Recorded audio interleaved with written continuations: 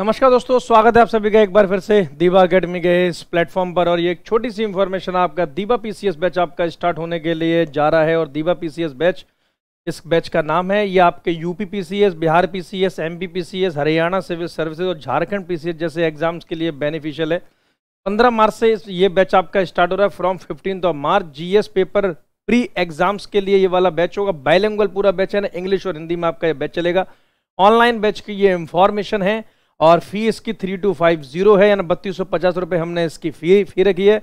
और contact number है, अगर आपको एडमिशन लेना है तो उसके लिए आपको पहले फ़ोन करना होगा nine eight two one five nine four three six three और जो बच्चे ऑफलाइन की इंफॉर्मेशन चाहते हैं, उनको भी फ़ोन इसी पर ही करना होगा।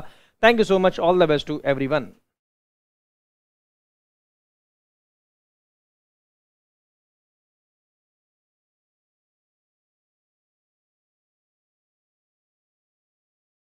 नमस्कार दोस्तों, स्वागत है आप सभी का एक बार फिर से दीपा अकेडमी के इस प्लेटफॉर्म पर। और मैं दीपक शर्मा आपका स्वागत करता हूँ। करंट अफेयर की तो your prime current affair series is back तो जैसे कि हम लोग डेली बेसिस पे प्राइम करंट अफेयर हमने कुछ टाइम पहले स्टार्ट किया था तो मुझे लगा कि यही नाम एक पॉजिटिव नाम है। तो पहले देखिए, काफ़ी टाइम के बाद आई थिंक तीन चार दिन शायद लगातार होगा, उसके बाद हम लोग इस प्लेटफॉर्म यानी कि दीबा अकेडमी पर आपके साथ रूबरू हो रहे हैं। तो आइए पहले स्वागत कर लेते हैं अपने उन सभी शिकारियों का, उन सभी बच्चों का, जो कि इतने टाइम से बिल्कुल तहे दिल से इंतज़ार में थे। और देखो, इंतज़ार क्या होगा? कोई ऐसा तो है नहीं कि भाई, बहुत बड़े मास्टर या बहुत बड़े बड़े सेलिब्रिटी हम। हाँ लेकिन ठीक है, आप लोगों ने इतना विश्वास दिखाया यही मेरे लिए मतलब बहुत, आ जाइए फटाफट से जरा एक बार सभी के सभी हमारे कैंडिडेट मैं जब तक आपके कमेंट बॉक्स को सामने जरा स्क्रीन पर लेके आता हूँ।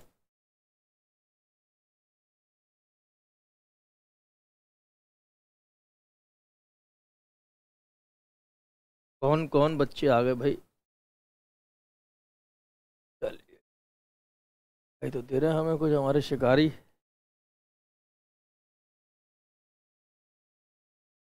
और आज का करंट अफेयर बहुत ही विशेष होने जा रहा है। ठीक है? बहुत ही विशेष। वालेकुम अस्सलाम। स्वागत है आप सभी का दीवा अकेडमी के छोटे से परिवार और छोटी सी फैमिली में। यस अब बैग तो कहीं ऐसा नहीं नहीं गया था मैं। गया था थोड़े वो तो बस कुछ काम ऐसे हो जाते हैं कि एक के बाद एक एक के बाद एक एक के बाद एक काम आ जाता है तो इसलिए फिर बेटे हम लोग क्या है? आ, लेकिन मैंने आपको पहले भी कहा था आपके पढ़ाई के मैं बिल्कुल भी लॉस नहीं होने दूँगा तो दो मार्च से लेकर आज तक की जो भी करंट अफेयर हम सारा करंट अफेयर इसमें करेंगे डिटेल्ड मैनर में करेंगे बहुत ही बढ़िया अंदाज में करेंगे।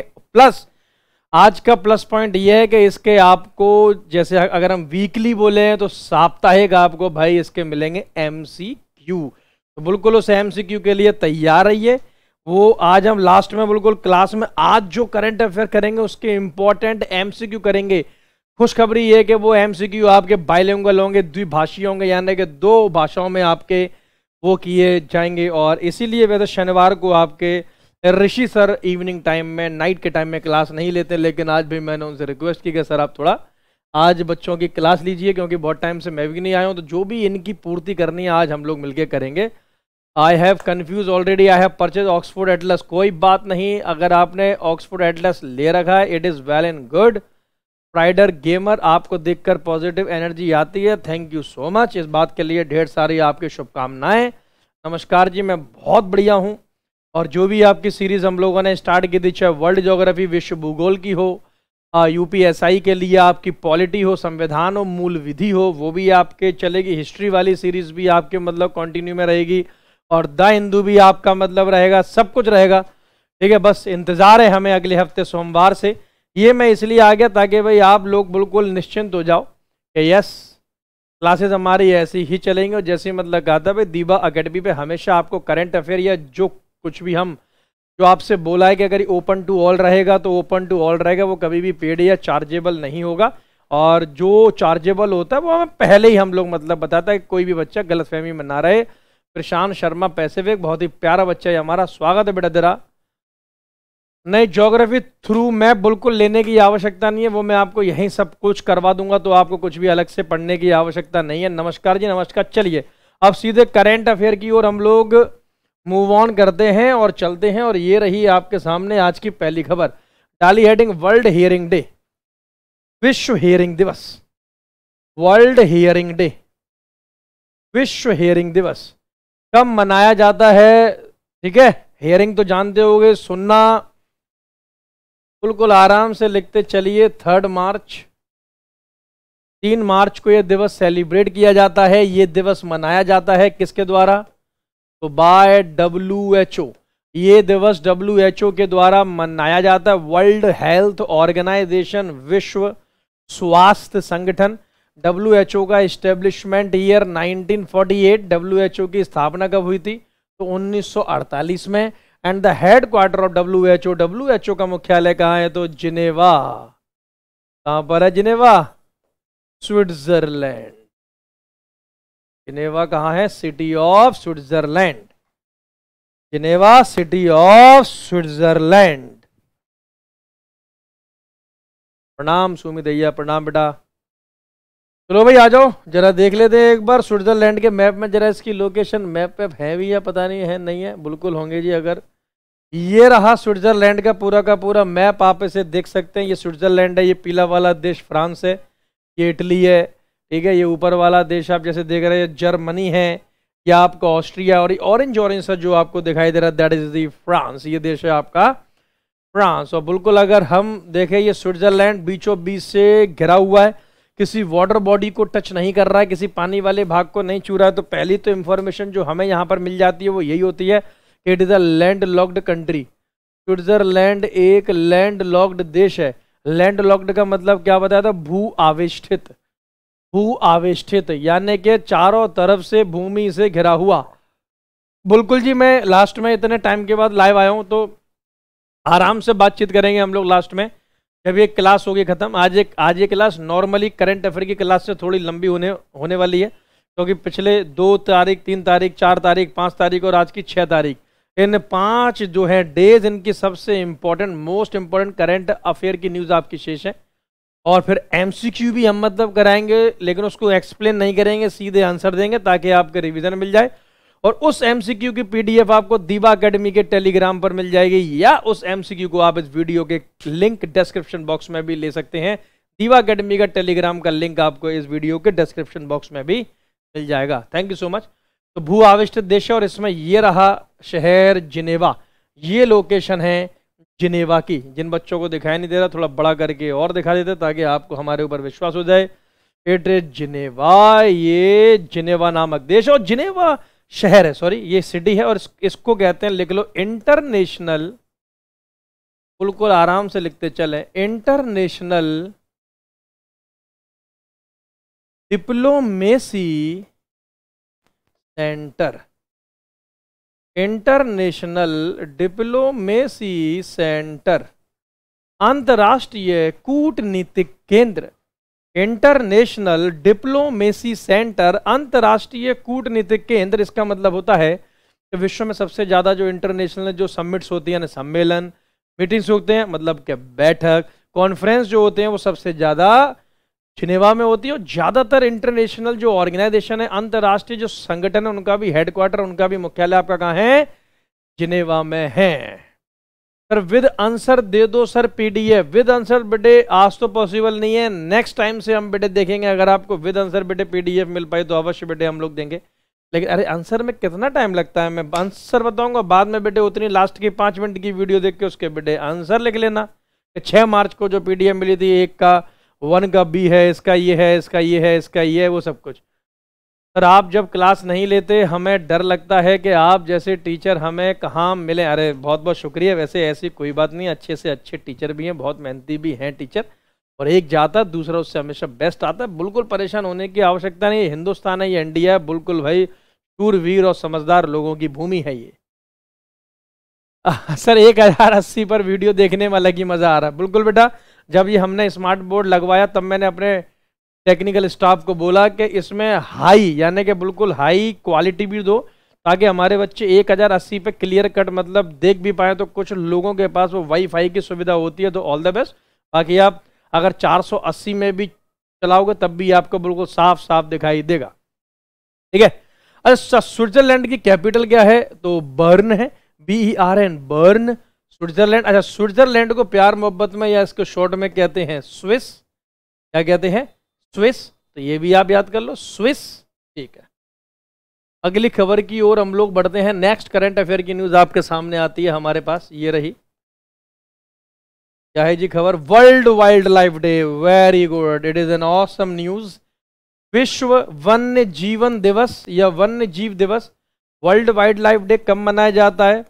थर्ड मार्च तीन मार्च को सेलिब्रेट किया जाता है, ऑर्गेनाइज किया किया जाता है। है ना? अच्छा तो प्राइडर गेमर जी बेटा मंडे से रात को 10 बजे, ठीक 10 पीएम आप बेटे आ जाना। वर्ल्ड ज्योग्राफी की सीरीज़ चल रही है, उसमें आपको बेटे बहुत ज़्यादा हेल्प हो जाएगी। सर, फिर भी आप स्मार्ट बोर्ड के आगे अलग ही चमकते हो। अच्छा चलिए बहुत बहुत शुक्रिया वैसे आपने इतना का, बहुत बहुत शुक्रिया मेरे बच्चे। तीन मार्च को वर्ल्ड वाइल्ड लाइफ डे ये मनाया जाता है। इसकी इस बार की थीम लिखो फॉरेस्ट एंड लाइवलीहुड बहुत ही प्यारी थीम है।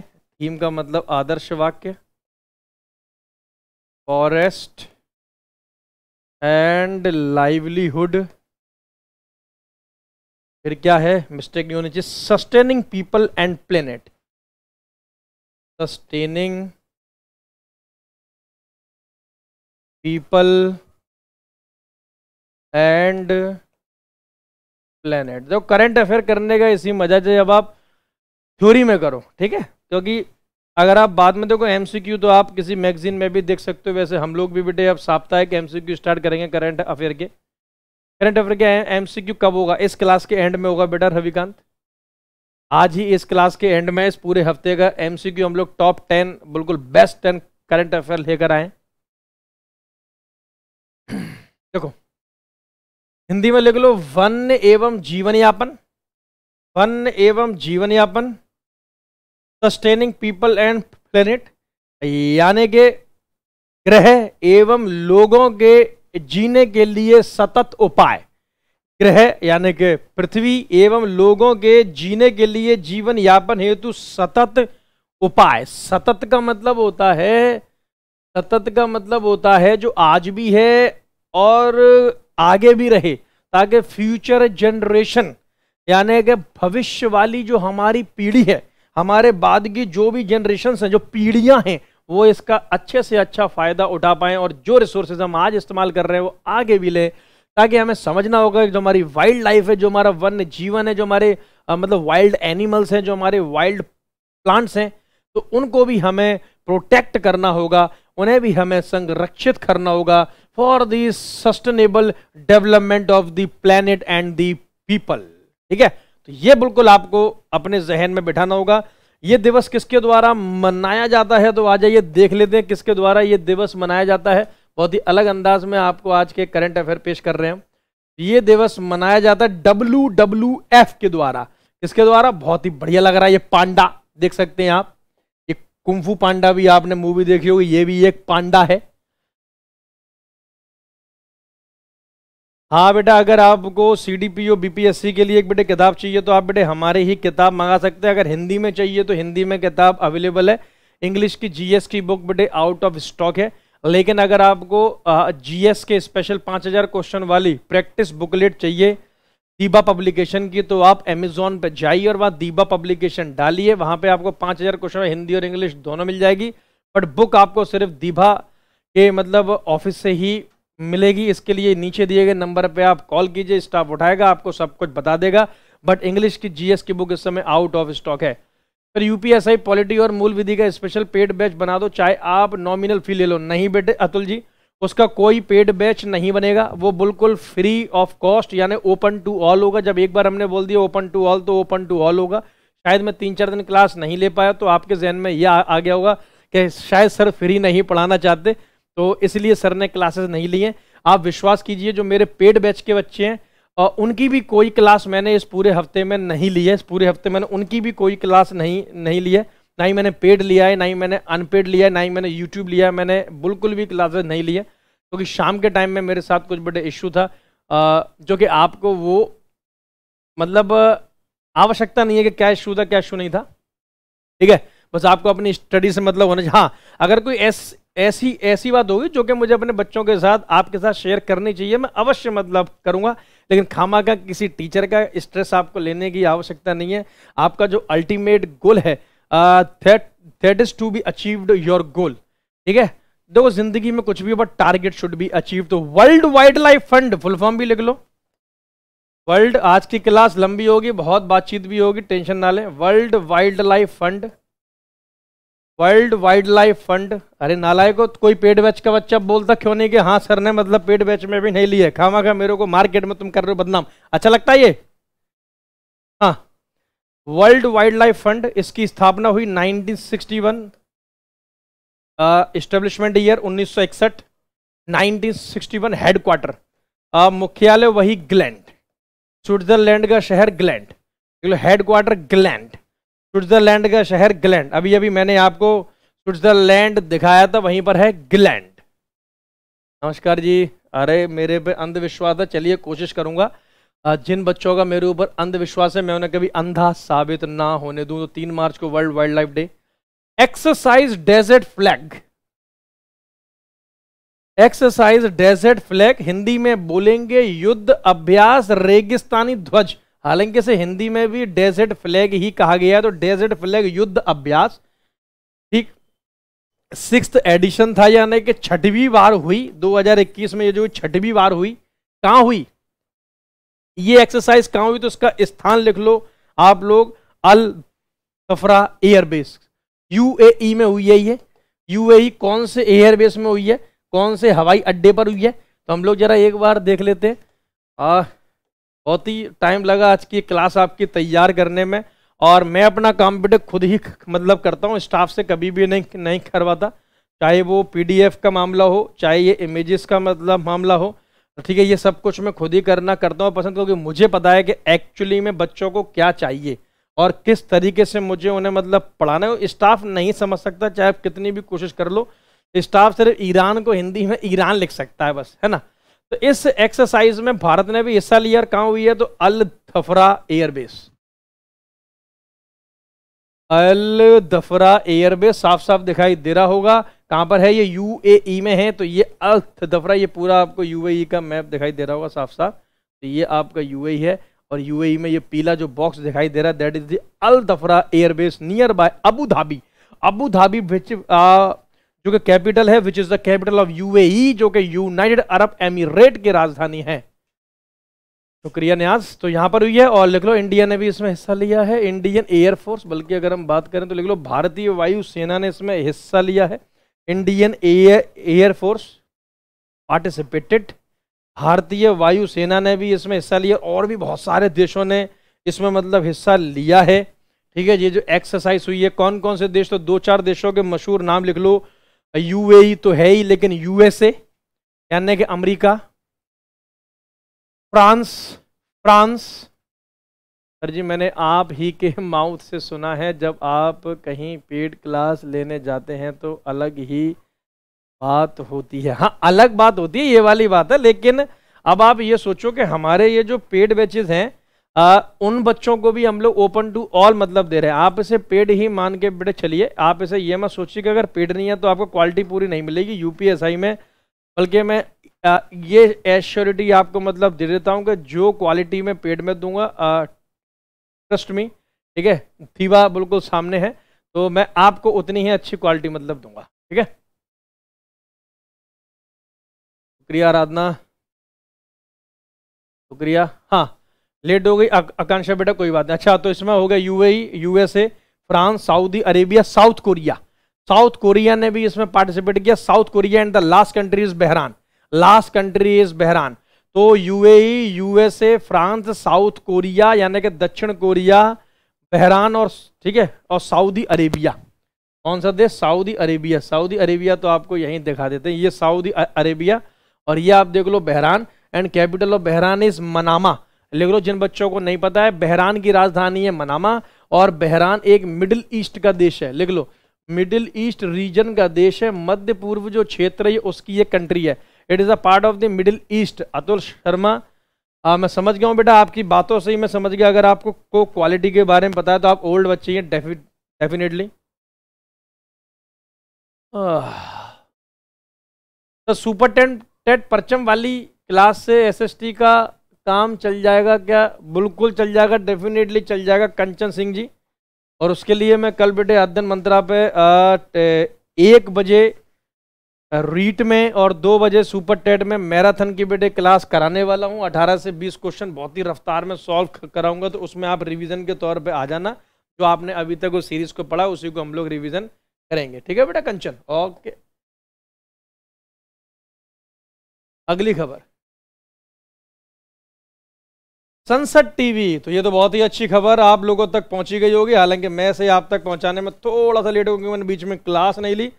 तो संसद टीवी अगर हम बात करें तो समझना कि, आपने नाम सुना होगा? इसे जब हम दिखा सकते हैं तो लिखें क्यों? चलिए इसे दिखाते हैं, क्योंकि तो दिखाने से हम लोग और अच्छा समझते हैं। Visual memories are the strongest memories देखने वाली जो हमारी दिमाग होता है, याददाश्त होती है, वो सबसे ज़बरदस्त होती है। आराधना जी, बिल्कुल मीनाक्षी गलत हो गए। तो लोकसभा टीवी और Rajya Sabha TV, Lok Sabha TV, Rajya Sabha TV दोनों को मर्ज कर दिया गया है। तो हिंदी में समावेशित कर दिया गया है एंड रीनेम्ड एज और इन दोनों का नाम परिवर्तित करके रख दिया गया है संसद टीवी। हिंदी में भी संसद टीवी ही रहेगा, इसे पार्लियामेंट टीवी मत मत लिख देना मेरे बच्चों। ये संसद टीवी रहेगा ऐसे पार्लियामेंट टीवी किसी भी कीमत पे नहीं रहेगी ये। एसएससी का सिलेबस कहाँ मिलेगा? एसएससी का सिलेबस बड़े दीवा एकेडमी पर ही मिलेगा आपको। एसएससी जो बच्चे जीएस करना चाहते हैं, अच्छे से उनके लिए जीएस स्पेशल पेड बैच है। उसके लिए आप नीचे दिए गए नंबर पर कॉल कर सकते हैं। बहुत ही नॉमिनल फ़ीस के साथ है, वो सब कुछ आपको वहीं मिल जाएगा। चलिए तो लोकसभा टीवी और राज्यसभा टीवी दोनों को मिला के संसद टीवी मतलब बोल दिया गया है। संसद टीवी यानी कि पार्लियामेंट टीवी नहीं बोलेंगे संसद टीवी ही बोलेंगे तो भारत सरकार के द्वारा ये फैसला लिया गया है। अच्छा देखो, भारत में कुछ भी हो, कोई भी टीवी हो, कोई भी टीवी हो, जो हम टीवी पे जो दिखाते हैं, उसे हम ब्रॉडकास्टिंग कहते हैं। प्रसारण कहा जाता है। क्या बोला जाता है? ब्रॉडकास्टिंग। प्रसारण। तो भारत में ब्रॉडकास्टिंग का, प्रसारण का, यानी कि रेगुलेशन, संचालन कौन करता है? अगर इस प्रकार का क्वेश्चन पूछा जाए तो लिख लो, प्रसार भारती। बहुत ही सिंपल है। Prasar Bharati is an agency, ये एक संस्था है। तो प्रसार से प्रसारण, यानी कि प्रसारण का संचालन कौन करता है? तो प्रसार भारती करती है। प्रसारण का संचालन कौन करता है? प्रसारण का रेगुलेशन ब्रॉडकास्टिंग का रेगुलेशन कौन करता है? तो प्रसार भारती करती है। और प्रसार भारती की स्थापना हुई थी 1997 उन्नीस में and the headquarter of this is in New Delhi और इसका मुख्यालय नई दिल्ली में है। यानी कि प्रसार भारती का मुख्यालय न्यू दिल्ली में है। मंडे वेडे शिप मंडे यूपीएसआई जो हम करते हैं मंडे वर्ल्ड ज्योग्राफी की सीरीज़ मंडे बिल्कुल नए सिरे से नए टाइम शेड्यूल के साथ मंडे ओके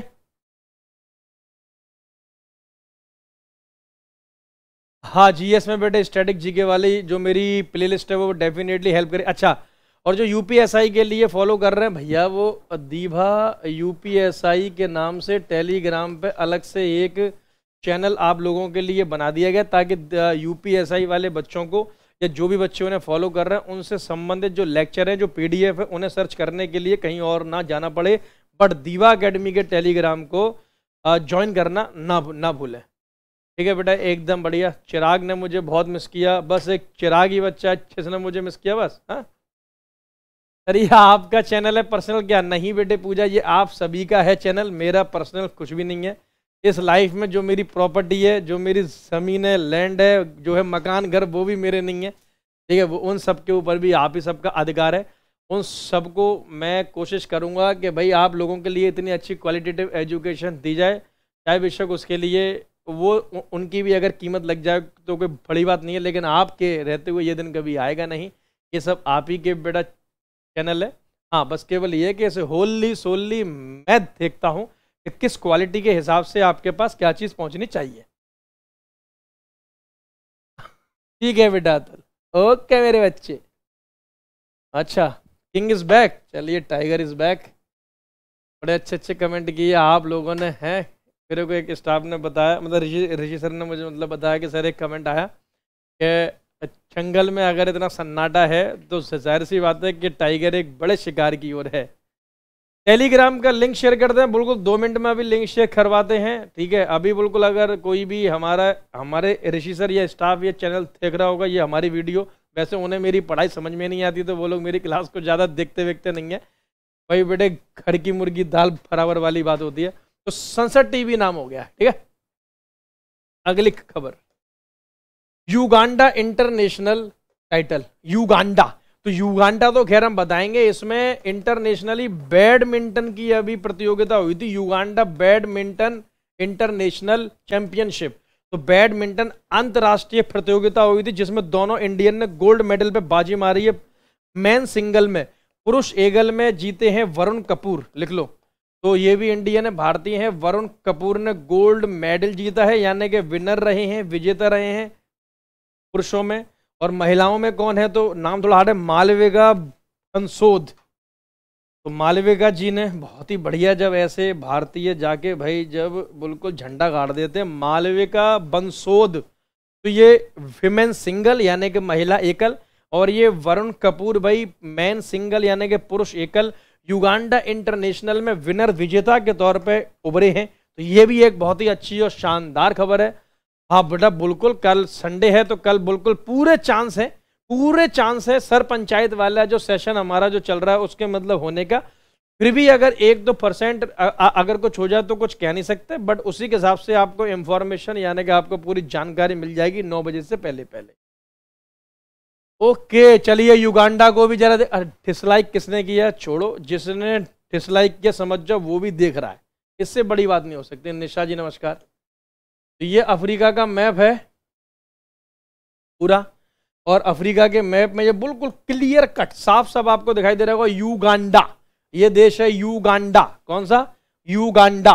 कुछ और मैं समझ लेना, मैं बिल्कुल सही बोल रहा हूँ, युगांडा। राजधानी कैपिटल कंपाला, ऐसे नाम लगते हैं। ये नाम से लगते हैं कि ये गरीब देश है, यहाँ पे पॉवर्टी बहुत ज़्यादा होगी। ठीक है तो कंपाला इसकी राजधानी है। ऐसा लगता है इन अफ्रीका के देशों के नाम देखकर जैसे कि ये किसी एटॉमिक बम यानी कि परमाणु जो होता है बम, उसका मतलब नाम रख दिया गया है। ठीक है? उसका नाम ये रख दिया गया भाई, जैसे कि अमेरिका ने जापान पे दो युगांडा छोड़े, दो युगांडा नामक परमाणु बम गिराए। ठीक है? अमेरिका ने, या पे जापान ने, भाई नॉर्थ कोरिया के ऊपर कंपाला नामक दो छोटी छोटी मिसाइलें छोड़ दी।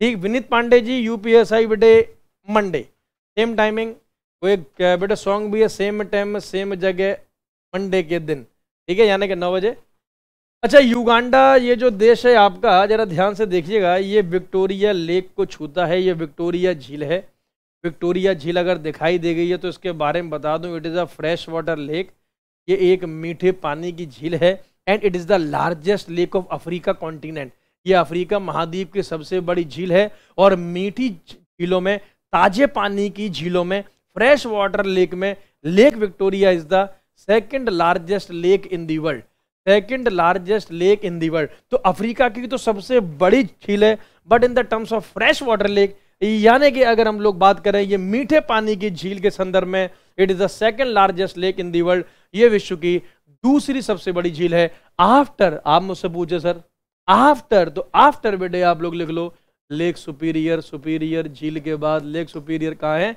On the border of the USA and Canada USA और कनाडा की सीमा पर, बिल्कुल एक छोटी सी इंफॉर्मेशन और काफ़ी बच्चे हमारे बोल रहे हैं। यहीं से ही आपकी निकलती है नाइल रिवर नील नदी longest river in the world विश्व की सबसे लंबी नदी। अरे हमें तो लाइव आना ही था। मैं तो तीन चार दिन से पूरी कोशिश कर रहा था कैसे भी लाइव आ जाऊँ आ जाऊँ, लेकिन बेटे कुछ संजोग ऐसा हमारा कोऑर्डिनेशन सेट नहीं हो पा रहा था। चलिए उसके लिए हम चाहते हैं बेटे क्षमा। अच्छा चलिए मुझे एक इन्फॉर्मेशन इस मैप में और क्लियर कट दिखाई दे रही है तो आगे बढ़ने से पहले मैं उसको भी आपको बिल्कुल बताना चाहूँगा। ये है ज़ीरो डिग्री लॉन्गिट्यूड इसे हम कहते हैं प्राइम मेरिडियन यानी कि ज़ीरो डिग्री देशांतर रेखा। और ये है ज़ीरो डिग्री लैटिट्यूड जिसे हम कहते हैं इक्वेटर यानी के भूमध्य रेखा। तो ज़ीरो डिग्री अक्षांश रेखा और ज़ीरो डिग्री देशांतर रेखा। ज़ीरो डिग्री देशांतर रेखा ज़ीरो डिग्री अक्षांश रेखा प्राइम मेरिडियन इक्वेटर यानी भूमध्य रेखा प्राइम मेरिडियन ये एक दूसरे को अफ्रीका कॉन्टिनेंट में ही काटती हैं। द ओनली प्लेस और only point in the world where both this line cut each other जहाँ पर ये दोनों की दोनों रेखाएँ एक दूसरे को काटती हैं, वो यही है, सिर्फ़ अफ्रीका कॉन्टिनेंट और अफ्रीका कॉन्टिनेंट में भी कहा? साउथ एटलांटिक ओशियन ध्यान ध्यान रखना। यानी कि दक्षिण अटलांटिक महासागर साउथ अटलांटिक ओशियन में ये दोनों रेखाएँ एक दूसरे को काटती हैं। तो इसकी बिल्कुल इच्छाधारी नाग, नागिन की तरह भी जरा फ़ोटो खींच लेना ताकि आपको भाई एग्ज़ाम में कुछ तो फ़ायदा हो, ताकि आप सोच तो पाए कि हाँ भाई आपका कुछ फ़ायदा हुआ है या नहीं हुआ है। सर हमारे लायक कोई सेवा हो, अरे बस आप अच्छे से पढ़ते रहो, यही सेवा है, यही रिक्वेस्ट है, यही ऑर्डर है। ठीक? ओके बेटा Megha Sharma all the best अभी तो आपको बहुत सारे एग्ज़ाम क्लियर करने हैं। अगला ये न्यूज़ लिखो, छठवें नंबर की खबर आपके सामने बिल्कुल उपस्थित है। छठवें नंबर की खबर है ये। तो छठवें नंबर की खबर क्या है? छठवें नंबर की खबर ये है कि मोहम्मद अल खाजा तो मोहम्मद अल खाजा ये भाई साहब कौन है तो लिख लेना he is appointed as ambassador to Israel by UAE इन्हें यूएई नामक देश के द्वारा इज़राइल का राजदूत नियुक्त किया गया है। राजदूत नियुक्त किया गया है। इज़राइल नामक देश के लिए ठीक है? यूएई के द्वारा राजदूत नियुक्त किया गया है। तो अब आप बोलो, सर, इससे हमें क्या मतलब? भाई एग्ज़ाम में तो इंडिया वाले आते हैं ना कि इंडिया का कहाँ हाई कमिश्नर अपॉइंट हुआ, कहाँ एम्बेसडर अपॉइंट हुआ। तो सर, आपने ये क्यों कराया? ये क्या बदतमीजी? अरे, ये बदतमीजी ये है कि पहली बार इन द हिस्ट्री इतिहास में इसराइल में यूएई का एम्बेसडर अपॉइंट किया गया है। तो लिख लो first time in the history it happens. पहली बार इतिहास में ऐसा हुआ है कि यूएई का राजदूत या एम्बेसडर यूएई का राजदूत या एम्बेसडर ठीक, कहा इसराइल नामक देश में नियुक्त किया गया है। इसराइल नामक देश में नियुक्त किया गया है। इसराइल की भी लोकेशन जरा देख लो भाई। मोहम्मद अल खाजा नाम याद रखना। यूएई की तो अभी लोकेशन मैंने दिखाई थी, लेकिन इसराइल की भी जरा लोकेशन हम लोग देख लेते हैं। देखिए, ये पूरा का पूरा मैप आपके सामने तहे दिल से आप इस मैप को जरा देख सकते हैं। इस मैप को थोड़ा सा बड़ा कर लेते हैं। तो अगर हम लोग इसमें सिंपल सी एक बात करें तो देखिए ताइवान ये तो यूएई की लोकेशन हो गई। ये सब मिडिल ईस्ट में आता है। और ये जेरूसलम जो हमें दिखाई दे रहा है it is the second capital of the Israel और इसराइल की पहली राजधानी है तेल अवीव। ये हमें जो दिखाई दे रहा है दैट इज़ द इसराइल तो ये इसराइल की लोकेशन हो गई। तो यूएई नामक देश ने first time in the history first ever in the history पहली बार इतिहास में अपने राजदूत को, अपने एम्बेसडर को अपॉइंट किया है, नियुक्त किया है, कहाँ पर? इसराइल में। अच्छा इसराइल के राष्ट्रपति का नाम भी लिख लो। रूविन रिवलिन अरे भाई, कैसा नाम है? Reuven Rivlin president of the Israel क्योंकि ये जो एम्बेसडर का जो अपॉइंटमेंट है, ये इसराइल के राष्ट्रपति के द्वारा ही किया गया है। तो रिविन रिवलिन और इसराइल के पीएम प्रधानमंत्री का तो नाम कर सभी को पता Benjamin Netanyahu Benjamin Netanyahu PM of Israel Israel की मुद्रा क्या है? करेंसी शेकल इजरायली शेकल तो shekel is the currency of the Israel Israel की मुद्रा है शेकल क्या है? शेकल ठीक है? शुक्रिया बी के सुगंधा. बस बेटे, तुम लोगों की दुआ है इसी बात पे अगली न्यूज़ की ओर चलते हैं हम लोग. नेशनल सेफ्टी डे राष्ट्रीय सुरक्षा दिवस. या हम इसे नेशनल सिक्योरिटी डे भी कहते हैं. लिख लो. नेशनल सिक्योरिटी डे भी कहते हैं। राष्ट्र सुरक्षा दिवस कब मनाया जाता है? Fourth of March. चार मार्च को यह दिवस मनाया जाता है। चार मार्च को यह दिवस मनाया जाता है किसके द्वारा? तो ministry of labour and employment short में लिख रहा हूँ। Ministry of labour and employment ministry of labour and employment यानी कि मजदूर एवं रोज़गार मंत्रालय। मजदूर एवं रोज़गार मंत्रालय। मजदूर एवं रोज़गार मंत्रालय। ठीक? कौन है इसके मंत्री? तो संतोष, कोई संतोष संतोष है शायद हाँ। संतोष गैंगवर, पता नहीं क्या नाम है। I am unable to collect bit right now शायद कुछ ऐसे ही होगा। संतोष गैंगवर, एक सेकंड मैं अपने नोट्स में देख लेता हूँ। मैंने हंड्रेड परसेंट का नाम लिखा होगा। एक सेकंड बेटा। यस बिल्कुल सही है। संतोष गैंगवर नाम है। और इस बार की, इस डे की थीम क्या रही है? यानी कि आदर्श वाक्य तो बिल्कुल रही है सड़क सुरक्षा। सड़क सुरक्षा, इंग्लिश में हो जाएगा रोड सेफ्टी तो नेशनल सेफ्टी डे में जो इस बार की थीम रही, जो आदर्श वाक्य रहा दैट इज़ द सड़क सुरक्षा रोड सेफ्टी सड़क सुरक्षा, ये कैसे याद होगा? बेटे डेली रात को सोने से पहले जो कुछ भी मैं कराता हूँ, उसे बेटे रिवाइज करके सो और डेली सुबह उठते याद करो। सिंपल। और जैसे जैसे मैं कराता हूँ वैसे वैसे करो। जब तक याद ना हो जाए, तब तक पढ़ाई करते रहो, क्योंकि ये कहावत है कि पढ़ ले बेटा, पढ़ ले, वरना फिर पढ़ना पड़ेगा। Thank you my dear child Prashant चलिए सुपर हीरो वी क्या है भैया, जरा बताओ?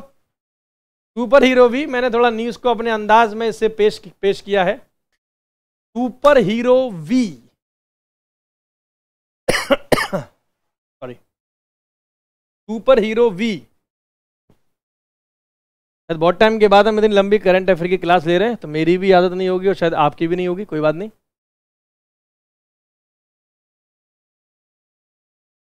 अरे सुपर हीरो भी क्या है? सर बारह बादाम भिगोकर खा लेना, बिल्कुल भाई। बिल्कुल सही बता इसका मतलब न्याज हमारी काफ़ी पुरानी फॉलोअर है, बच्ची काफ़ी टाइम से बेटे हमें ये फॉलो कर रही है लगातार। नहीं पता? तो सीधे बोल दोगे, सर, हमें नहीं पता है। सर प्लीज़ सर बिल्कुल बेटा डेली है बेटा डेली होगा। चलो वी का मतलब है विराट कोहली। अरे, इतना तो पता होना चाहिए तो भाई विराट कोहली ज़ाहिर सी बात है बेटे, इंडिया की आन बान शान है। इन्होंने बेटे इंटरनेशनल लेवल पे हमें बहुत ही नाम दिया है और आज के समय में भी बहुत ही, अगर हम बात करें most famous cricketer but sports person में भी अगर हम बात करें, खिलाड़ियों में बात करें तो किसी की मतलब पर्सनैलिटी में भी कम नहीं है पॉपुलैरिटी में भी कम नहीं है। Highly inspire inspirational inspirable person Virat Kohli. तो सुपर हीरो मैंने इनका नाम रखा है सुपर हीरो वी यानी हमारे सुपर हीरो विराट कोहली। क्यों रहे भाई ये इस समय न्यूज़ में? तो लिख लो first cricketer to have hundred million followers to have hundred million followers on Instagram followers on Instagram. तो ऐसे पहले क्रिकेटर हुए हैं पूरे विश्व में जिनके इंस्टाग्राम पर, जिनके इंस्टाग्राम पर 100 मिलियन फॉलोवर हो चुके हैं। इसी से याद आया कि दीबा अकेडमी का भी इंस्टाग्राम में सर्च कर लेना। ठीक है, आपको मतलब मिल जाएगा। दीबा अकेडमी का ट्विटर है at the rate Deeva academy, बस केवल आप मतलब लिख देना, आपको ट्विटर अकाउंट मिल जाएगा, इसे भी फॉलो कर लेना। और अगर आप मुझे भी ट्विटर पे फॉलो करना चाहें तो at the rate I Deepak sir के नाम से मैं आपको मिल जाऊँगा। ठीक है? कहाँ पर? ट्विटर अकाउंट पर आप मुझे यहाँ पे फॉलो कर सकते हैं समय समय पर। वैसे तो मैं इन पर ज़्यादा एक्टिव नहीं रहता हूँ, लेकिन फिर भी अगर कुछ होगा तो टाइम निकाल के जब अवश्य देखेंगे। ओके तो इंस्टाग्राम पे पहले क्रिकेटर 100 मिलियन फॉलोअर को क्रॉस करने वाले। और अगर हम बात करें कि विश्व में स्पोर्ट्स पर्सन की बात करें कि वो खिलाड़ी कौन है, जिनके सबसे ज़्यादा, वो स्पोर्ट्स पर्सन जिनके सबसे ज़्यादा इंस्टाग्राम पे फॉलोअर है तो लो क्रिस्टियानो रोनाल्डो रोनाल्डो चलिए इमेजेस के साथ दिखा देते हैं आपको, ताकि आपको हमेशा के लिए याद हो जाए, ठीक है? ये हैं वो व्यक्ति क्रिस्टियानो रोनाल्डो, जिनके इंस्टाग्राम स्पोर्ट्स पर्सन की हम लोग बात कर रहे हैं। खिलाड़ियों में सबसे ज़्यादा फॉलोवर इन्हीं के ही हैं। टॉप पर हैं बिल्कुल। कहाँ के हैं? ये रोनाल्डो साहब, अगर हम बात करें तो ये पोर्टुगल, पुर्तगाल देश के हैं। जैसे विराट कोहली जी, सचिन तेंदुलकर जी एम एस धोनी जी, कपिल देव जी, शाइना नेहवाल, और भी अगर किसी महान महान खिलाड़ियों का नाम रह गया हो, सानिया मिर्ज़ा जी हमारे देश का नाम रोशन किया, इन्होंने पुर्तगाल, पोर्टुगल का मतलब नाम रोशन रोशन किया, पहले नंबर पर है, पोर्टुगल के रोनाल्डो। और जरा देख लेते हैं कि भाई हाँ वही देखना था हमें कि भाई पोर्टुगल विश्व मानचित्र पे कहाँ दिखाई देगा। तो पोर्टुगल अगर हम लोग बात करें तो आप देख सकते हैं, ये रहा बिल्कुल स्पेन, ये रहा स्पेन और स्पेन के बगल में पुर्तगाल, या पोर्टुगल नामक देश, जहाँ से वास्को डिगामा इंडिया मतलब आए तो बिल्कुल रोनाल्डो फुटबॉल प्लेयर है। और ये Lisbon is the capital of the Portugal Portugal की राजधानी लिस्बन, जो कि टैगस रिवर, टैगस नदी के किनारे बसी हुई है। तो लिस्बन निशा पटेल जी नहीं है तो क्या बोलते हैं वो? क्या बोलते हैं? लाइक सब्सक्राइब क्या है? हाँ तो वो देख लेना भाई। समय पर फॉलो करने के लिए दीवा अकेडमी का टेलीग्राम चैनल ज्वाइन कर लें, ताकि कोई वीडियो आपसे मिस ना हो, ताकि आप बाद में हमसे शिकायत ना करें, सर, ये नहीं हो पाया, ये नहीं हो पाया, ये नहीं हो पाया। ठीक है? ठीक है? तो टैगस यानी पोर्टुगल ठीक? अगले सेकंड नंबर पे कौन है इंस्टाग्राम पे स्पोर्ट्स पर्सन छिनके के फॉलोवर हैं? तो ये आपको दिखाई दे रहे हो क्लियर कट बहुत ही हैंडसम मेसी लियोनल मेसी तो मेसी मेसी बिल्कुल बहुत ही स्मार्ट भी है। वैसे तो अपने कोहली साहब भी मतलब बहुत ज़्यादा स्मार्ट है। बिल्कुल देखो, न्याज ने नई बच्ची का स्वागत किया। मेसी अर्जेंटीना के हैं ये। ये किस देश के हैं तो अर्जेंटीना। ऐसे याद कर लो। मेसी को अर्जेंट है टीना के लिए।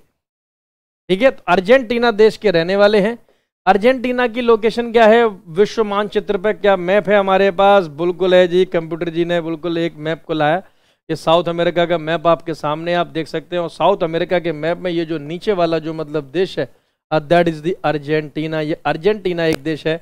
जो कि साउथ अमेरिका कॉन्टिनेंट में सेकंड लार्जेस्ट कंट्री है। दूसरा सबसे बड़ा देश है साउथ अमेरिका, दक्षिणी अमेरिका का। And the capital of Argentina is Argentina की राजधानी है ब्योनस एरिस क्या राजधानी है? ब्योनस एरिस या ब्योन्स एयर्स ब्योनस एरिस या ब्योन्स एयर्स बेटे, मौसी नहीं प्रतिभा, मैसी। तुझे तो मीनिंग ही चेंज चेंज कर दिया। कोई बोलेगा मौसी, फिर कोई बोलेगा मासी। इनकी शर्ट पे क्या लिखा है और क्यों? किसकी शर्ट पे क्या लिख दिया? ये अरे ये बेटे स्पॉन्सर होते हैं। ये ना स्पॉन्सर होते हैं जो कि अपना नाम लिखते हैं ठीक है ताकि बस केवल उनका नाम दिखाई दे ताकि वो आ, अब ये अच्छे इंसान हैं तो भाई जो यूथ है जो हमारे आ, ये उसके आइकॉन है या फिर जो अच्छे अच्छे लोग जो होते हैं उनको मतलब फॉलो करें मेहनत करें हार्ड वर्क करें ठीक है वही तो इसीलिए तो भाई, इन इन जैसा बनने के लिए, लोगों के लिए, लोगों तक ये बात पहुंचाई मतलब जाती है, ठीक है? हाँ। सर, फ़र्स्ट पर विराट है या रोनाल्डो? स्पोर्ट्स पर्सन में रोनाल्डो और क्रिकेटर में विराट कोहली और ओवरऑल स्पोर्ट्स पर्सन में विराट कोहली चौथे स्थान पर हैं।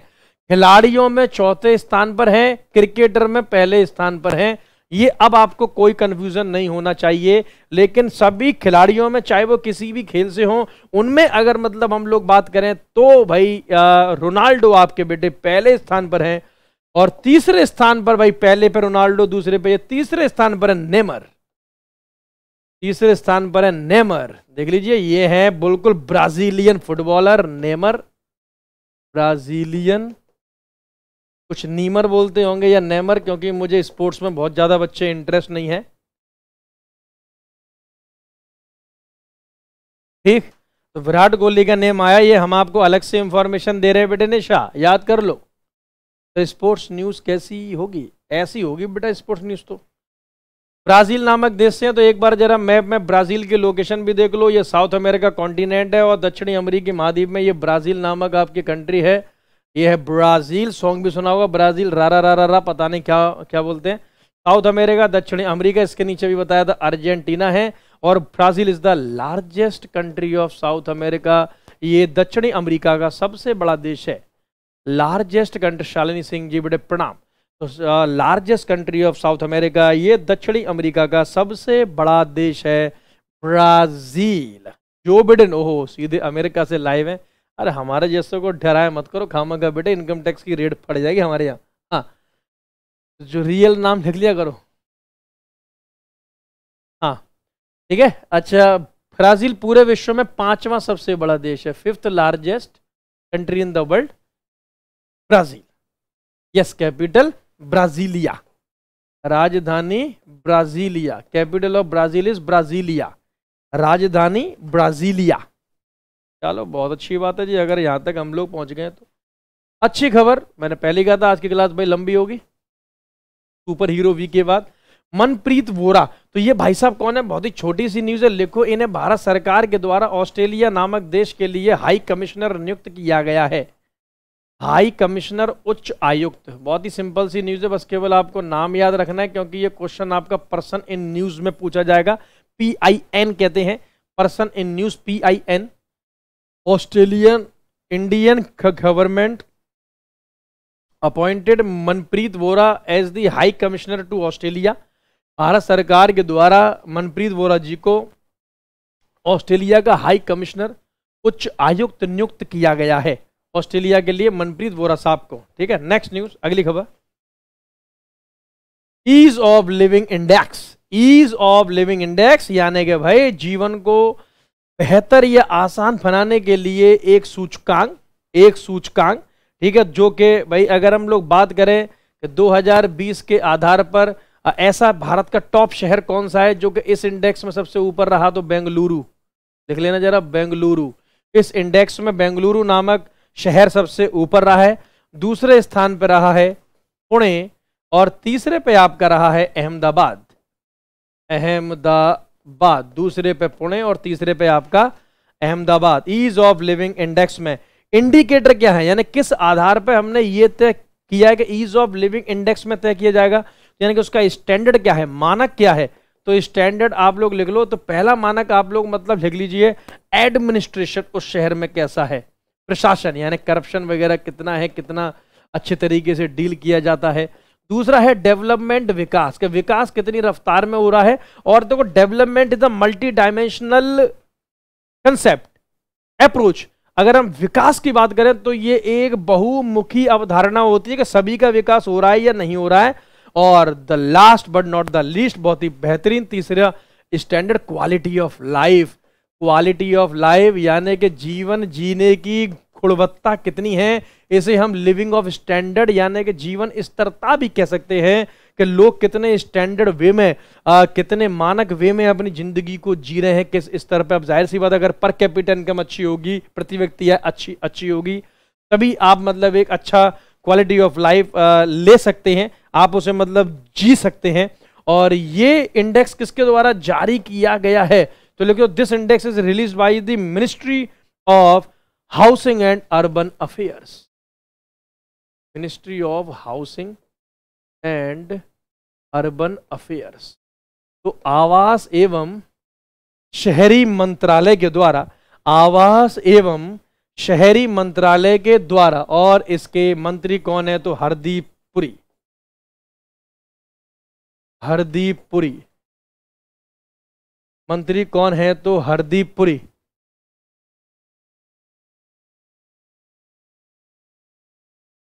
एक सेकंड बेटा रुकना।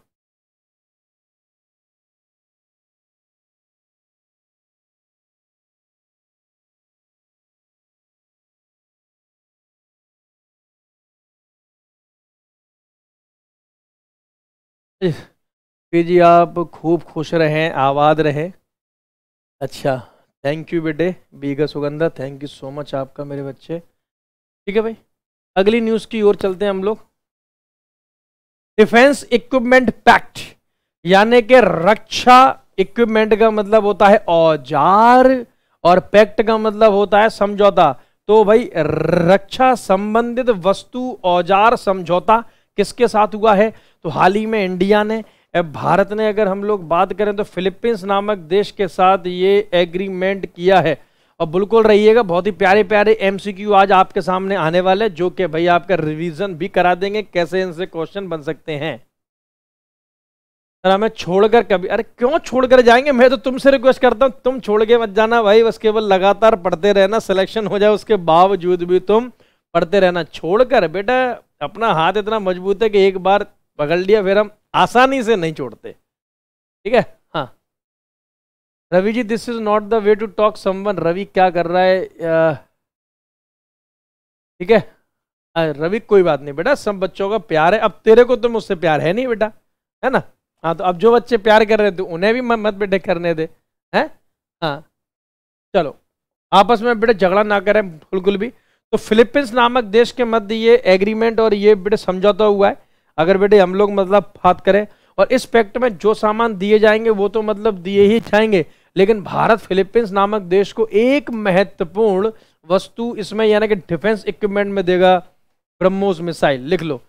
ये ब्रह्मोस मिसाइल भारत के द्वारा फिलीपींस को दी जाएगी तो लेकिन अंडर दिस पैक्ट हाँ शैली जी, आप बेटे फॉलो कर सकते हो, बिल्कुल। हाँ। ठीक? तो अंडर दिस पैक्ट इस समझौते के तहत अगर हम लोग बात करें तो BrahMos missile will be delivered by India to Philippines, यानी कि ये मिसाइल ये मिसाइल, ठीक, ये मिसाइल, अगर हम लोग बात करें तो भारत के द्वारा, भारत के द्वारा फिलीपींस नामक देश को दी जाएगी। फिलीपींस नामक देश को दी जाएगी। फिलीपींस नामक देश को दी जाएगी। ठीक है? तो ध्यान रखना अच्छा चलिए, जरा एक बार देख लेते हैं फिलीपींस की लोकेशन है, नहीं, पहले इसको देख लेते हैं। ब्रह्मोस मिसाइल, अगर हम बात करें तो इंडिया और रूस का एक जॉइंट वेंचर है, ये भारत और रूस ने मिलकर इसे तैयार किया है ब्रह्मोस मिसाइल को। 2006 में इसे सेवा में लाया गया 2006 में, और ये तीनों सेनाओं के द्वारा इसे इस्तेमाल किया जाता है। इंडियन आर्मी यानी भारतीय सेना, इंडियन नेवी, भारतीय नौसेना, इंडियन एयरफोर्स भारतीय वायुसेना। ब्रह्मोस मिसाइल की जो मैक्सिमम स्पीड है वो 3.5 मैक यानी कि 3.5 मार्क तक है। और अच्छा मैक का मतलब मतलब होता है कि साउंड की स्पीड के बराबर। तो अगर 3.5 होगा यानी कि साउंड की स्पीड से आवाज़ की रफ्तार से साढ़े तीन गुना ज़्यादा। यानी कि भाई, अगर हम कंपेरिजन करें साउंड की स्पीड के साथ तो 3.5 मोर 3.5 मोर वेरी गुड बेटे Shivani. International rice research institute जो है वो मनीला में है that is the capital of the Philippines Philippines की राजधानी मनीला में है डेफिनेटली ठीक है? हाँ जी. इसकी रेंज देखो, इस मिसाइल की रेंज देखो 2019 से तो पहले इस मिसाइल की रेंज 290 किलोमीटर के आसपास होती थी। मारक क्षमता, कितनी दूरी तक ये तय कर सकती है? ठीक? कितनी दूरी से ये, सर, आपको दिल से लाइक करता हूँ। बहुत अच्छी बात है बेटा, सभी लोग दिल से ही करते हैं। लेकिन तू करता है वेरी गुड बेटा। बस पढ़ाई में कमी नहीं आनी चाहिए, किसी भी कीमत पे। और 2019 में भारत ने से अपग्रेड कर दिया। 650 किलोमीटर तक इसकी रेंज यानी कि मारक क्षमता आज के दौर में है। और भारत आने वाले समय में इसकी रेंज डेढ़ हज़ार किलोमीटर तक करने वाली है। इसके ऊपर भी योजना चल रही है, इसके ऊपर भी परियोजना चल रही है, इसके ऊपर भी काम चल रहा है। अच्छा फिलीपींस की जरा लोकेशन देख लो, ये है फिलीपींस नामक देश। साउथ ईस्ट एशिया में आता है, दक्षिण पूर्व एशिया में आता है। कोई शक, कोई परेशानी, कोई दिक्कत नहीं होनी चाहिए। साउथ ईस्ट एशिया दक्षिण पूर्व एशिया का ये आपका देश है और कैपिटल है फिलीपींस की मनीला। ठीक है? जहाँ पर एडीबी अच्छा ये भी मुझे याद है कि एडीबी एशियन डेवलपमेंट बैंक एशियाई विकास बैंक का हेडक्वार्टर या मुख्यालय है। एशियन डेवलपमेंट बैंक एशियाई विकास बैंक का हेडक्वार्टर या मुख्यालय ए डी बी ठीक है जी। अगली खबर। और खबर है? अरे, खबर तो होंगी। 2023 वर्ष को यूएनजीए ने किस प्रकार से घोषित किया है? 2023 किस तरीके से? तो लिख लो 2023 को UNGA declared as international year of millet international year of millet millet का मतलब बाजरा। ठीक है भाई? वैसे मुझे बहुत पसंद है, लेकिन अब दिल्ली जैसे शहर में कहाँ बाजरा? और बेटे यहाँ के हवा पानी ऐसे खा भी ले तो पचा नहीं पाएँगे तो कोई बात नहीं। कभी जब गाँव वाँव जाएँगे या अपने बच्चे के यहाँ जो रूरल एरिया से रखते हैं, अगर वहाँ कभी जाएँगे तो भाई उस बच्चे से ही खा पी लेंगे। नहीं? हाँ जी। तो मिलट का ईयर घोषित किया है यूएनजीए ने इंटरनेशनल ईयर ऑफ़ मिलट 2023 2023 को इसके तौर पर सेलिब्रेट किया जाएगा। यूएनजीए का मतलब है फुल फॉर्म लिख लो United Nation General Assembly United Nation General Assembly संयुक्त राष्ट्र महासभा। यूनाइटेड नेशंस जनरल असेंबली संयुक्त राष्ट्र महासभा। हाँ अपने यूपी में बिल्कुल वैसे बाजरा का सबसे ज़्यादा उत्पादन राजस्थान राज्य के द्वारा किया जाता है। Rajasthan is the largest producer of bajra और मिलट इन इंडिया ठीक है तो यूएनजीए के द्वारा 2023 को इसी के तौर पर घोषित किया गया है। अच्छा इसे इसके तौर पर घोषित करना चाहिए, इसकी पहल किस देश के द्वारा की गई? तो इंडिया लिख लो this concept was propounded by देखो भाई, अंग्रेज़ी माध्यम और हिंदी माध्यम नए नए शब्दों को ले लिया करो नोट्स को और आसान बनाने के लिए प्रोपाउंडेड बाय इसका मतलब प्रतिपादन करना, यानी कि ये ये 2023 मिलेट ईयर के तौर पे, बाजरा के वर्ष के तौर पे पूरे विश्व में मनाया जाना चाहिए। ये भारत ने इसकी भाई अवधारणा दी, ये मतलब इंडिया इसका सूत्र था यानी कि it is the brain child of India यानी भारत ने इसको किया था। कि भाई ये इसके तौर पे मनाया जाना चाहिए। तो भाई 2022 भी तो मनाया जाएगा 2021 भी तो मनाया जाएगा, ये जो चल रहा है तो देख लेते हैं। 2021 को किस ईयर के हे नज़र लग रही है। नज़र मत लगाओ, वैसे भी इतने टाइम बाद। तो ये मैंने बिल्कुल देखो यूएनओ की जो ऑफिशियल वेबसाइट है उससे उठाया, इसलिए हमारे करंट अफेयर ये हमारी जो क्लासेस होती हैं उसमें फैक्ट और इंफॉर्मेशन के गलत होने के चांसेस थोड़े होते हैं बेटे कम। ठीक है तो ये क्योंकि ऑफिशियल मान लो कोई इकोनॉमी का आंकड़ा तो हम आरबीआई की वेबसाइट से उठाते हैं या फिर साइंस का कोई मतलब मामला है तो अपने ऋषि सर सीएसआईआर की जो मतलब वेबसाइट है, जो उनकी ऐप है, उनसे मतलब उठाते हैं। तो हम, हमारे जो सोर्सेज हैं, वो बिल्कुल पर्टिकुलरली हम लोग गवर्नमेंट ऑफ़ इंडिया यानी कि भारत सरकार या फिर इंटरनेशनल लेवल पे जो भी ऑर्गेनाइजेशन है, उनके हिसाब से बेटे तय किए जाते हैं। ठीक? ठीक है बेटा रवि। तो 2021 international year of creative economy for sustainable development creative economy for sustainable development Hindi में बोलेंगे कि सतत विकास हेतु अर्थव्यवस्था का सृजन, यानी कि इसको भाई घोषित किया गया है। अंतर्राष्ट्रीय वर्ष सतत विकास हेतु अर्थव्यवस्था का सृजन। अर्थव्यवस्था का सृजन। ठीक है? तो यार सतत विकास हेतु अर्थव्यवस्था का सृजन। सृजन। अरे बेटे, खाना है। मार्केट में होलसेल में बेचना थोड़ी ना है बेटा शिवानी। हम्म। ओहो सॉरी सॉरी 2022 वर्ष किस तौर पे मनाया जाएगा? तो ये देख लो, ये भी हमने वहीं यूएनओ की वेबसाइट से लिया है। तो 2022 को डिक्लेयर किया है यूएनओ ने, यूनाइटेड नेशन ऑर्गेनाइजेशन ने, international year of artisanal fisheries and aquaculture, यानी कि मत्स्य पालन को बढ़ावा देने हेतु तो मत्स्य पालन अंतर्राष्ट्रीय दिवस। मत्स्य पालन या मछली पालन अंतर्राष्ट्रीय दिवस, international year of artisanal fisheries and aquaculture. Aquaculture. ठीक?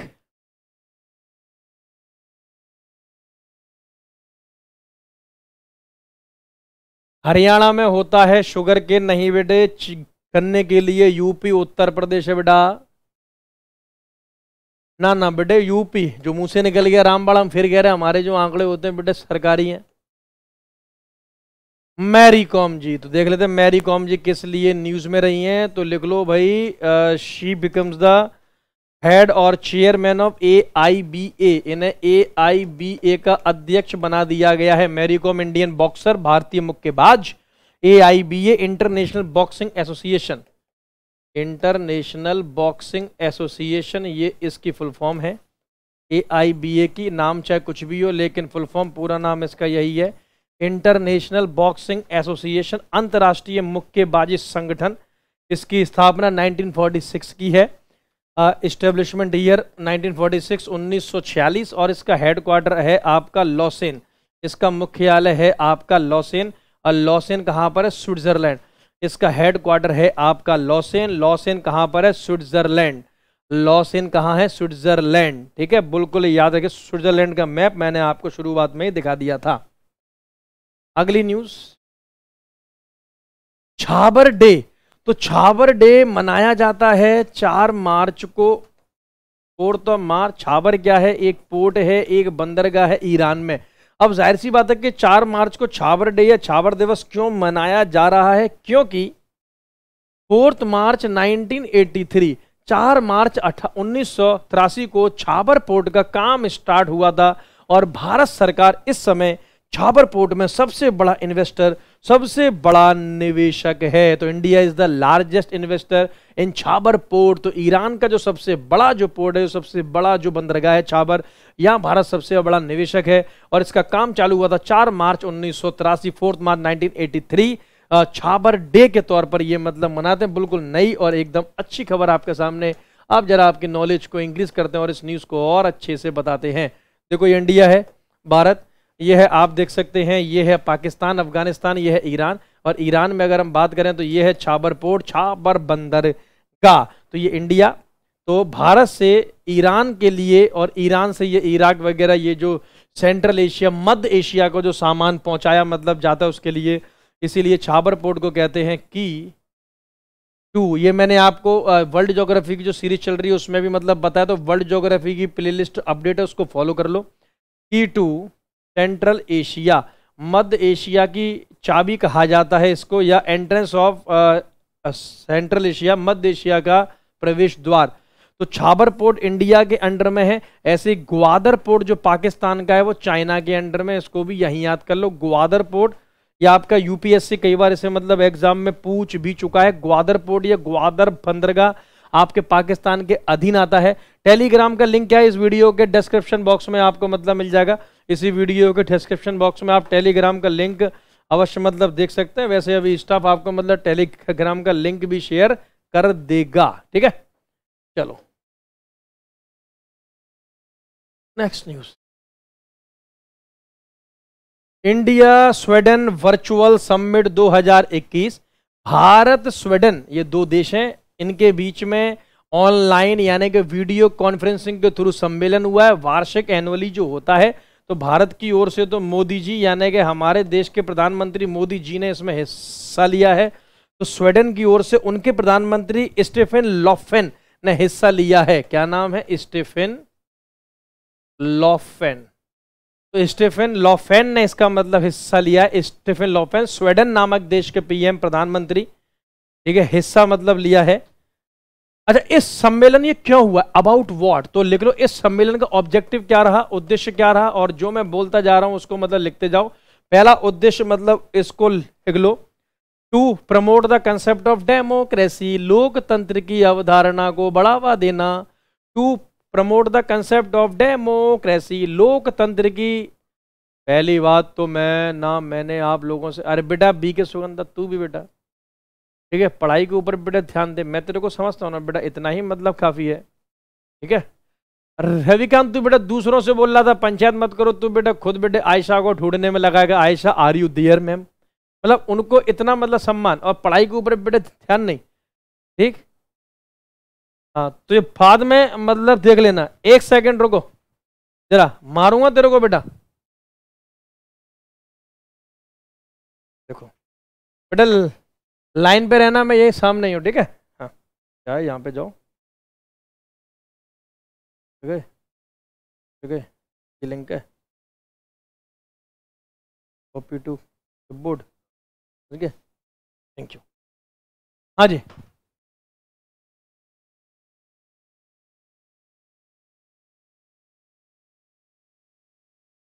अच्छा बहुत फास्ट हो गया मैं। ये बोलो क्लास इतनी देर से चल रही है बेटा। कुछ हाँ तो लोकतंत्र की अवधारणा को बढ़ावा थे ना नेक्स्ट कंसेप्ट आप लिख लो to promote the concept of rule of law कानून के शासन की अवधारणा को बढ़ावा देना कि भाई चाहे कोई भी देश हो वो कानून के शासन से ही चलना चाहिए। And the last thing is human rights यानी कि भाई ह्यूमन uh, राइट्स मानव अधिकारों की सुरक्षा। Safeguard of human rights मानव अधिकारों की सुरक्षा। ये आ गया बेटा, कौन बच्चा टेलीग्राम का लिंक मांग रहा था? मानव अधिकारों की सुरक्षा। एक एक काम करो, जरा यूपीएसआई का जो बैच है ना टेलीग्राम का, उसका भी जरा लिंक साथ साथ में शेयर कर दो। बेटा यूपीएसआई क्या, बेटा, दीवा यूपीएसआई के नाम से टेलीग्राम चैनल है तो जो बच्चे स्पेशली यूपीएसआई या यूपी के किसी एग्ज़ाम को कर रहे हैं टारगेट तो उसको जरा आप लोग ले लो। अब देखो, इसके बारे में कुछ हम जान लेते हैं। जैसे कि स्वीडन वगैरह क्या होता है, आज आपके सारे डाउट क्लियर कर देते हैं हम। देखो, ये रही यूरोप में है आपका स्वीडन। यूरोप में है आपका स्वीडन, आप बिल्कुल देख सकते हैं अच्छे से। यूरोप में है आपका क्या? स्वीडन नामक ये देश। ठीक है, स्वीडन। और अगर हम बात करें, स्वीडन की राजधानी है स्टॉकहोम, आप साफ़ साफ़ देख सकते हैं, Stockholm is the capital of the Sweden अच्छा आपने देखा होगा कुछ देशों को स्कैंडिनेवियन कंट्री कहा जाता है। क्या बोला जाता है? जरा ध्यान देना, स्कैंडिनेवियन कंट्री कहा जाता है। स्कैंडिनेवियन कंट्रीज़, स्कैंडिनेवियाई देश। तो तीन देश आपके स्कैंडिनेवियाई देशों में आते हैं। तीन देश, एक तो स्वीडन आता है, एक नॉर्वे आता है और एक आपका डेनमार्क आता है। स्वीडन आता है, नॉर्वे आता है, डेनमार्क आता है। इन तीन देशों को मिलाकर हम स्कैंडिनेवियन कंट्रीज़ कहते हैं। स्कैंडिनेवियन कंट्रीज़ कहते हैं। अगर हम स्कैंडिनेवियन कंट्रीज़ में दो देश आपके ऐड कर दें कौन कौन से? एक तो फिनलैंड को ऐड कर दें और एक आइसलैंड को ऐड कर दें। कंसेप्ट समझना, फिनलैंड को ऐड कर दें, आइसलैंड को ऐड कर दें। आइसलैंड का है? ये देश जो आपको दिखाई दे रहा है इस मैप में, ये आइसलैंड है। ये देश आपको जो दिखाई दे रहा है, ये आइसलैंड है। तो अगर हम स्कैंडिनेवियन कंट्रीज़ में दो देश, आइसलैंड और फिनलैंड को ऐड कर दें तो इन पाँच देशों को मिलाकर कहा जाता है नॉर्डिक कंट्रीज़। इन पाँच देशों को मिलाकर कहा जाता है नॉर्डिक कंट्रीज़ या नॉर्डिक वाले देश। इन पाँच कंट्रीज़ को, इन पाँच देशों को मिलाकर कहा जाता है नॉर्डिक कंट्रीज़। समझ गए? अब आपको इसमें कोई भी कंफ्यूजन नहीं होनी चाहिए। चलिए जरा साथ साथ में। अच्छा ठीक है। अच्छा नॉर्डिक कंट्रीज़ में कौन कौन से देश आएँगे? तो उसको याद करने का फॉर्मूला है फाइंड्स नॉर्डिक कंट्री में कौन कौन से देश आएँगे तो इनको याद करने का फॉर्मूला है फाइंड्स एफ़ से फिनलैंड आई से आइसलैंड एन से नॉर्वे डी से डेनमार्क एस से स्वीडन ठीक एस से स्वीडन ठीक अच्छा एक एक और बात नॉर्वे की जो कैपिटल है that is the Oslo Norway की राजधानी ओस्लो फिनलैंड की कैपिटल है हेलसिंकी फिनलैंड की राजधानी हेलसिंकी स्वीडन की राजधानी स्टॉक होम डेनमार्क की जो कैपिटल है that is the Copenhagen Denmark की राजधानी है कोपन हैगन और आइसलैंड की आपकी राजधानी है रिक जैविक आइसलैंड की कैपिटल या राजधानी क्या है? रिक जैविक तो ये छोटा सा कंसेप्ट आपको याद रखना पड़ेगा और डेफिनेटली आपको बेटे एग्ज़ाम में इनमें से कोई ना कोई आपको एग्ज़ाम में देखने के लिए मिल जाए। ऋषभ गोयल बेटे, आशीर्वाद मेरे बच्चे। तो ये थी आप लोगों के लिए आज की बहुत ही मशहूर और बेहतरीन आपके एग्जामिनेशन पॉइंट ऑफ़ व्यू से current affair of time waste नहीं करते, सीधे हम लोग आते हैं बेटे। एमसीक्यू पर। और ये रहा आज का पहला सवाल आपकी स्क्रीन पर आपके सामने जो आपको आपका इसका आंसर देना होगा।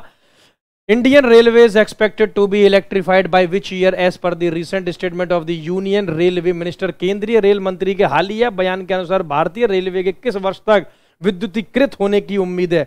2023, 2024, 2025, 2026 जरा इसका आंसर बताएँ। शाबाश। इसका आंसर बताइए। वेरी गुड जी वेरी गुड देखते कौन कौन बच्चे बाजी मारेंगे। अखिलेश जी, अगर आपको बात करनी है तो कल बेटे आप लोग तीन बजे के बाद बेटा फ़ोन कर सकते हैं नीचे दिए गए नंबर पे। अगर किसी और से बात हो तो बोल देना, सर से बात करनी है तो वो आपको डेफिनेट टाइम बता देंगे। जल्दी बताइए, क्या आंसर होगा? जैसे ये पूरे हफ़्ते के करंट अफेयर के एमसीक्यू हैं। आशीर्वाद बेटे निधि। अरे ये पाँच मिनट अभी सबको दूँगा लास्ट में, पंचायत के लिए। आंसर लगाओ 2024 ऑप्शन नंबर भी 2024 2024 2024 ठीक है? नेक्स्ट अगला क्वेश्चन हाँ जी. Which mobile application is the fastest in the world to reach 50 million users as per the announcement of NITI Aayog? NITI आयोग की घोषणा के अनुसार 50 मिलियन उपयोगकर्ता तक पहुँचने के लिए दुनिया में कौन सा मोबाइल एप्लीकेशन सबसे तेज है? डिजी लॉकर आयकर सेतु, आरोग्य सेतु और उमंग। बहुत ही बेहतरीन क्वेश्चन आपके लास्ट वीक बिल्कुल नीति आयोग ने इसकी मतलब घोषणा की है।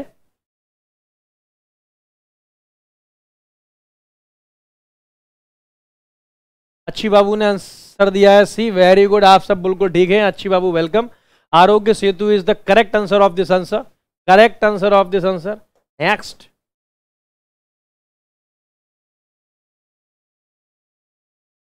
Which nation has signed a deal with India for the supply of defense material, including BrahMos cruise missile?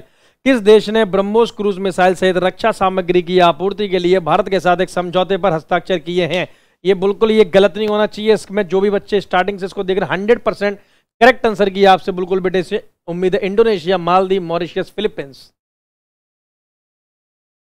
BrahMos missile के लिए भी डील की और और भी बहुत सारी डील मतलब हुई है वेरी गुड जी, बहुत बढ़िया डी यानी कि फिलीपींस डी मतलब के फिलीपींस नामक देश। सारी जानकारी अभी इसके बारे में हमने आपको दी। Next news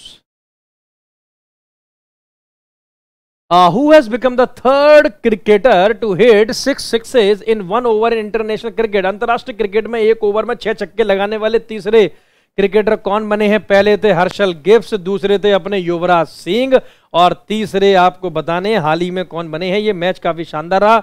यूट्यूब पर ये वीडियो नंबर वन पे ट्रेंडिंग में भी रही। पता नहीं हमारी कब आएगी ट्रेंडिंग में ऊपर वाला ही जाने। Chris Gayle, Kieron Pollard, Joe Root और स्टीव स्मिथ। वेरी गुड जी, Pollard. Kieron Pollard, West Indian player अभी हाल ही में श्रीलंका के खिलाफ जो सीरीज़ हो रही है, उसमें इन्होंने छह गेंदों में छह छक्के मारे। और शायद उसमें कोई श्रीलंका के बॉलर ने भी विकेट लेने की हैट्रिक ली है। नाम धनंजय कुछ करके है। I am unable to recollect कोई बात नहीं। नेक्स्ट ये भी बिल्कुल हंड्रेड परसेंट सही होना चाहिए। What is the new name है Rajya Sabha and Lok Sabha TV Rajya Sabha, Lok Sabha TV का नया नाम क्या है? संकल्प संसद, भारत और लोकमान्य। संकल्प संसद भारत और लोकमान्य। तो राज्यसभा टीवी का नया नाम आपका क्या है? आपको यह मतलब बताना है, बहुत ही छोटे शब्दों में।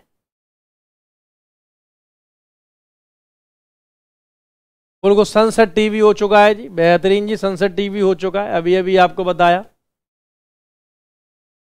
इसका आंसर बताइए, very good. The union cabinet has approved MoU MoU का मतलब agreement for cooperation in the agriculture sector between India and which nation केंद्रीय मंत्रिमंडल ने भारत और किस राष्ट्र के बीच कृषि क्षेत्र में सहयोग के लिए समझौता ज्ञापन को मंजूरी दी है? आंसर है आपका फीजी, जिबूती, माली और मोजाम्बिक। जिबूती, माली, मोजाम्बिक ये अफ्रीका के देश है। फीजी आपका ऑस्ट्रेलिया कॉन्टिनेंट या ओशिनिया कॉन्टिनेंट में आता है। ऑस्ट्रेलिया के ठीक राइट हैंड साइड में छोटा सा देश। अरे भाई हिंदी दे दी आपको, फीजी। जब इसके बारे में इतना एक्सप्लेन कर रहे हैं तो आंसर बेटे फीजी तो होगा। तो फीजी एक ऐसा मतलब देश हुआ है अभी हाल ही में। अच्छा Fiji is also famous for the Indian origin population ये जो देश है, ये जो राष्ट्र, ये भारतीय मूल के लोगों के लिए भी मशहूर और यहाँ पे हिंदी एक बहुत ही बड़े स्तर पे मतलब बोली जाती है। Fiji Fiji Fiji Fiji. And capital of Fiji is Suva. Fiji की राजधानी है सूबा। फीजी की राजधानी है सूबा। जिबूती की कैपिटल जिबूती। मुजाम्प मुजाम्बिक की राजधानी मापूतो यानी मपूतो और माली की राजधानी है आपकी माली की राजधानी मोरक्को की रावत। यार माली की याद नहीं आ रही मुझे। बेटा कोई बच्चा बताएगा? बिल्कुल माली की मेरे से नाम से आ, कुछ है। बमाको यस अब याद आया। Bamako capital of Mali is Bamako वो मुझे इंटरनेशनल एयरपोर्ट से अचानक याद आ गया बताओ। कभी कभार मेरे साथ भी ऐसा मतलब हो जाता है जो बिल्कुल दिमाग में उसको मैं कैसे भूल सकता हूँ? हाँ। चलिए next when is world wildlife day observed विश्व वन्य जीव दिवस कब मनाया जाता है? बिल्कुल बताना होगा। ऑप्शन आपके सामने है। आज ही मैंने आपको कराया है। गलत नहीं होना चाहिए। किसी भी कीमत पर। किसी भी कीमत पर। बिल्कुल 100 परसेंट आंसर हमें मतलब चाहिए ही चाहिए। आंसर आप लगाइए इसमें। थर्ड मार्च अभी तो आपको है वर्ल्ड वाइल्ड लाइफ डे तख्त पलट हुआ है। बिल्कुल जो बिडन जहाँ है, वहाँ पे तो तख्ता पलट वैसे ही हो जाएगा।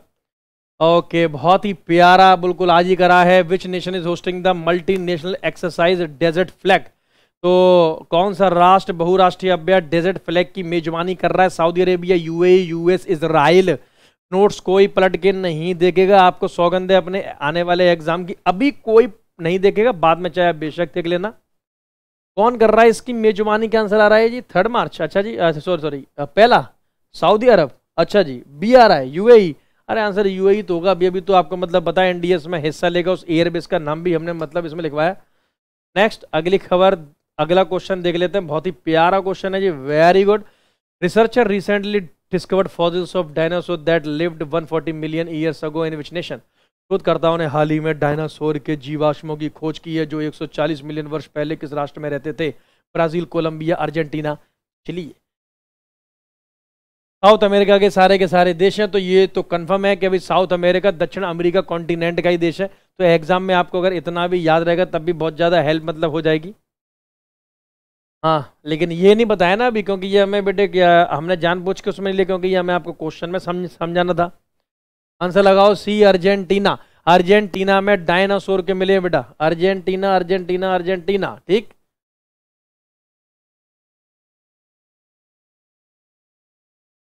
Which country is currently the India largest trading partner as March 2021 यानी कि वर्तमान में कौन सा देश भारत का सबसे बड़ा व्यापारिक भागीदार है? मार्च 2021 के आधार या रूप में, जल्दी बताओ। ऑप्शन आपके साथ, पाँच ऑप्शन है इसमें। लेकिन आंसर आपके चार में ही है, हटाओ। मैंने आपके लिए चार ही कर दी यूएसए यूएई चाइना या European Union largest trading partner of India Bharat का सबसे बड़ा व्यापारिक, मुल्क या व्यापारिक देश कौन सा है? तो आंसर आपका हो जाएगा सी चाइना चीन इसने अभी हाल ही में यूएसए अमेरिका को पीछे छोड़ा आंसर होगा चाइना, भारत का सबसे बड़ा ट्रेडिंग पार्टनर 2021 के लेटेस्ट आंकड़ों के अनुसार।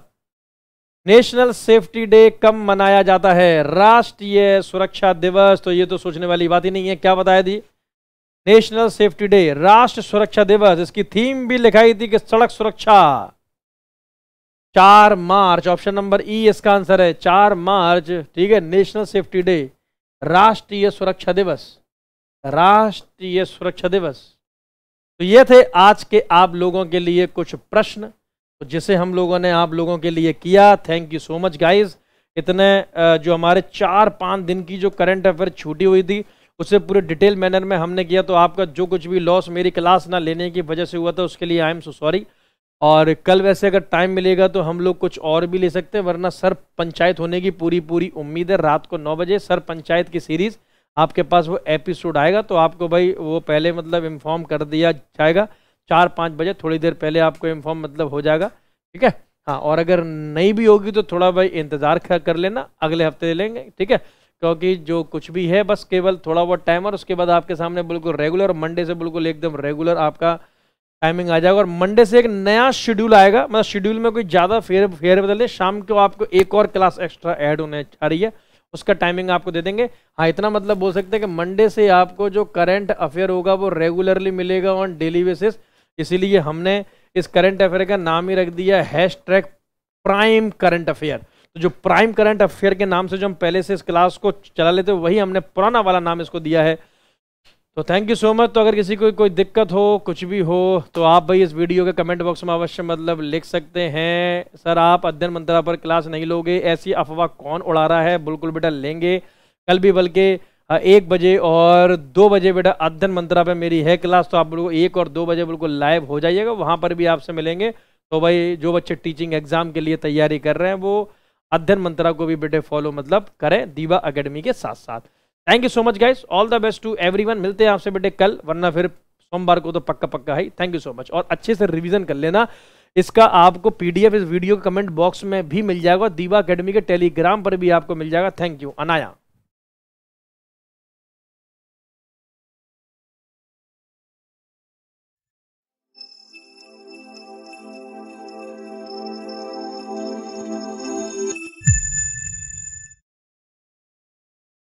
नमस्कार दोस्तों, स्वागत है आप सभी का एक बार फिर से दीवा अकेडमी के इस प्लेटफॉर्म पर और ये एक छोटी सी इंफॉर्मेशन आपका दीवा पीसीएस बैच आपका स्टार्ट होने के लिए जा रहा है और दीवा पीसीएस बैच इस बैच का नाम है ये आपके UP PCS Bihar PCS MP PCS Haryana civil services और झारखंड पीसीएस जैसे एग्ज़ाम्स के लिए बेनिफिशियल है। पंद्रह मार्च से ये बैच आपका स्टार्ट हो रहा है from fifteen of March GS paper pre exams के लिए ये वाला बैच होगा। बायलिंगुअल पूरा बैच है ना इंग्लिश और हिंदी में आपका ये बैच चलेगा। ऑनलाइन बैच की ये इंफॉर्मेशन है। और फ़ी इसकी थ्री टू फाइव ज़ीरो है, यानी बत्तीस सौ पचास रुपये हमने इसकी फ़ी फ़ी रखी है। और कॉन्टैक्ट नंबर है, अगर आपको एडमिशन लेना है तो उसके लिए आपको पहले फ़ोन करना होगा nine eight two one five nine four three six three और जो बच्चे ऑफलाइन की इंफॉर्मेशन चाहते हैं, उनको भी फ़ोन इसी पर ही करना होगा। Thank you so much all the best to every